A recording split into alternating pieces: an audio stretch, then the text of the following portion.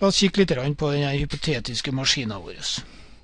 Vi skal i starten av kurset bruke eh, den maskinen på en veldig enkel form, og så skal vi bygge mer og mer avansert etter hvert.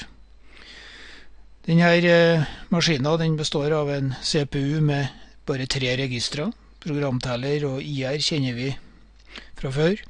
Og AC er et eksempel på et dataregister. Det er faktisk det eneste dataregisteret i denne CPU-en. Ordentlige CPU-er har eh, flere dataregister. Bussen gjør det mulig å kommunisere med, mellom minne og CPU. Og minnet vårt består av eh, en del lokasjoner. Hver lokasjon kan lagre 16 bits. Hver lokasjon har fått sin adresse. I dette tilfellet så ser vi noen av adressene, men det inneholder også mange flere. Siden eh, hver lokasjon inneholder 16 bit, så betyr det at eh, de her bitmønstrene kan forstås enten som 16 bits data eller som 16 bits instruksjon. Eh, siden vi skal holde det enkelt, så bruker vi bare én type data, nemlig heltall. Heltall med fortegn, basert på det formatet som vi ser her. Én bit som utgjør fortegnsbiten, resten utgjør verdien. Hvis bitmønsteret skal tolkes som en instruksjon, så ser vi det såkalte instruksjonsformatet. En firebits oppkode helt til venstre, som forteller hvilken handling som skal skje. En tolvbits adresse, som forteller hvor data som trengs, befinner seg hen. Den 12-bits adressen er altså en adresse i minnet der data som instruksjonen trenger, ligger. Oppkoden forteller hvilken handling som skal skje. Adressen forteller hvor data som skal brukes, ligger. Med fire bits oppkode så har vi 16 forskjellige operasjoner. Vi skal se på tre av de 16 etterpå.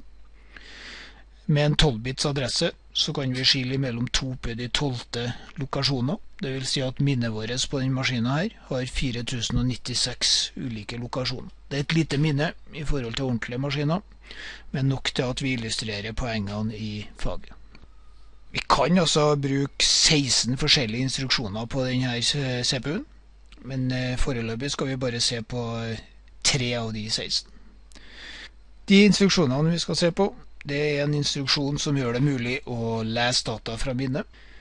Vi skal se på en instruksjon som gjør det motsatte. Tar AC-registeret og skriver det til minnet. Og så skal vi se på en instruksjon som eh, utfører dataprosessering, nemlig add-instruksjon. Alle de tre instruksjonene er typiske instruksjoner, finnes på eh, alle prosessorer. Eh, og vi skal se på enkel bruk av dem etterpå. Men husk hva vi sa, hvis vi går tilbake en for. Så vi sa at en instruksjon hadde en firebits oppkode.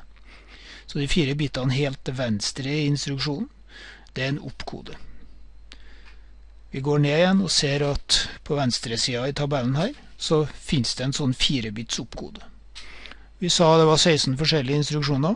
Tre av dem har vi her. Hvis oppkoden er 001, så mener vi en load-instruksjon. Altså en instruksjon leser data fra minnet og legger i AC. Hvis oppkoden er 0010, så ønsker vi å utføre en eh, store-operasjon, altså en operasjon som skriver innholdet av AC til minnet. Og hvis oppkoden er 0101, ja, da ønsker vi å utføre en addisjon. Den addisjonen er sånn at det ene tallet finnes i minnet, det andre tallet ligger allerede i AC.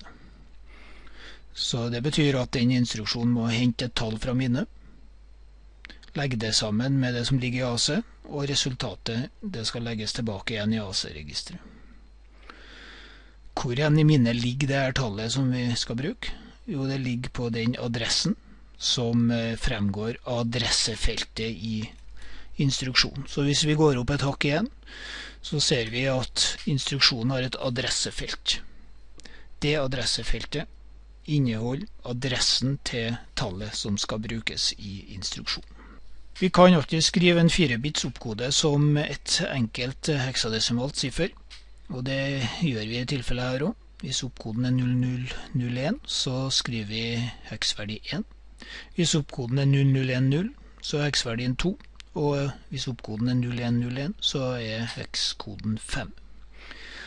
Vi ser at oppkoden kan oppgis på tre forskjellige vis, enten som en binær oppkode, f.eks. 0001, eller som en heksverdi, f.eks. 1, eller med et symbolsk navn som forteller hva den oppkoden faktisk gjør. Symbolsk navn som f.eks. load, eller store, eller add.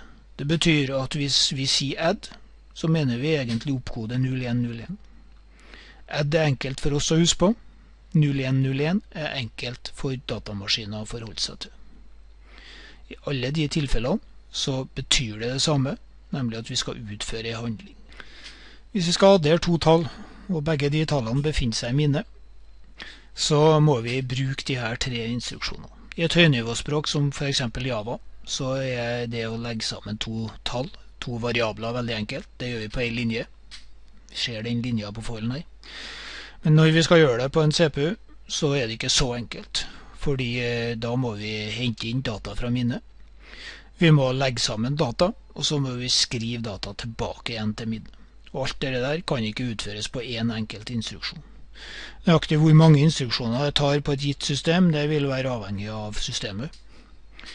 Men på vår hypotetiske datamaskin så trenger vi alle de tre instruksjonene vi har lært for å få til det som vi i Java gjør på én linje.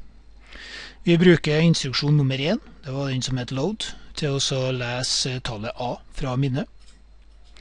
Vi bruker instruksjon nummer fem til å addere to tall. Det ene tallet var det vi leste inn fra minnet i stad. Det andre tallet ligger fortsatt i minnet. Vi legger sammen medinstruksjonen vår og vet at resultatet havner i AC. Og til slutt så bruker vi instruksjon nummer to, den som heter store, til å skrive resultatet tilbake igjen til min. Tre instruksjoner altså, for å få utført denne addisjonen. Vi kan selvfølgelig si at vi bruker instruksjon nummer 0001 til å lese fra minnet. Men isteden så sier vi at vi bruker load-instruksjon. Det er mye lettere å si load enn å si 0001. Og i hvert fall er det mye lettere å forstå hva den instruksjonen gjør. Og som vi husker, instruksjonen bestod av 16 bit. Oppkoden helt til venstre fortalte hva vi skulle gjøre, load i tilfellet her. Resten av instruksjonen fortalte hvor data lå hen, hvilken adresse det lå i. Og eh, i det tilfellet her er vi vårt eget operativsystem, så vi bestemmer rett og slett at uh, den første variabelen, den vi kalte A, den skal ligge i adresse 940. B legger vi i adresse 941, og både 940 og 941 er heksadesimale tall. Dermed kan vi skrive programmet på en lett lesbar måte for mennesker.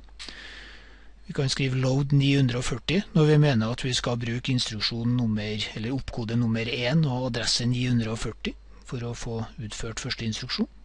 Vi kan skrive add 941 når vi mener at vi vil bruke add-instruksjon, eller 0101, til å legge sammen de to tallene. Og vi kan bruke stål istedenfor å si 0010, så sier vi stål til å skrive resultatet til minne. Når vi skriver koden vår på den måten her, så kalles det symbolsk kode. La oss se litt på hvordan bitmønster de her eh, symbolske kodene tilsvarer. Så på instruksjon nummer 1, som var load, så vet vi at oppkoden skal være 0001, eller bare 1 når vi skriver det heksadesimalt. Adressen den skal være en 12-bits adresse, men å skrive 12 bit er ganske tungvint, så vi skriver det heksadesimalt isteden. Og vi vet at heksadesimalt skal være 940. Da ender vi opp med at oppkoden er 1, og adressen er 940. Så bitmønsteret vårt, når vi skriver det heksadesimalt, det blir 1940. Det er altså det bitmønsteret som utgjør instruksjon 1. Gjør tilsvarende for instruksjon 2. Det var en add-instruksjon. Hadde oppkode 0101, eller 5 hvis vi skriver det heksadesimalt. Adressen er 941. Så hvis vi setter sammen oppkoden 5 og adressen 941, så får vi bitmønsteret 5941. Og til slutt instruksjon 3. Store-instruksjon, eller at vi skriver innholdet av AC-registeret til minnet. Det var oppkode 2, 0010. Oppkode 2 og adresse 941. Hvis vi setter sammen det, så blir det 2941, som er bitmønsteret til den tredje instruksjonen. Nå tar vi de tre instruksjonene her, og så legger vi dem i minnet vårt. Da må vi bestemme oss hvor de skal ligge. Og eh, siden vi er vårt eget operativsystem, så bestemmer vi oss for at de skal ligge i 300, 301 og 302. Og vi har allerede bestemt oss for at dataene våre skal ligge i 940 og 940. Vi kunne ha valgt helt andre tall. Vi har valgt de her. For å komme i gang så legger vi inn 300 i programtell.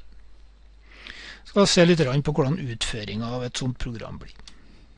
Her har vi noen figurer hvor figurene på venstre sida er hentesyklusen. Figurene på høyresida er utføringssyklusen. Og Vi ser at vi har lagt inn 300 i programtelleren. Hentesyklusen til første instruksjon vil være å gå ut i minnet på adresse 300. Hent det som ligger der, ta det over bussen og legg bitmønsteret i instruksjonsregisteret. Utføringa ja, består i å tolke instruksjonen. Instruksjon nummer én, det var load, adresse 940. Altså gå ut på adresse 940, hent det som ligger der, ta det med inn i akkumulatoren eller AC-registeret. Da er vi ferdig med instruksjon nummer én. Vi har allerede inkrementert eh, programtelleren, så neste hentesyklus vil bestå i å gå ut på adresse 301. Hent det som ligger der, og legg det i instruksjonsregisteret husker vi på å inkrementere programtelleren, sånn at når vi begynner med utføringssyklusen, så er den allerede inkrementert til 302. Tolke. Ja, det her var oppkode 5, det vil si addisjon. Det ene tallet ligger allerede i akkumulatoren. Andre tallet det ligger i minnet. Hvor hen? Jo, det ligger på 941. Så vi går ut i 941, henter det som ligger der, legger det sammen med gamle verdien for akkumulatoren, og vi får en ny verdi som vi putter tilbake.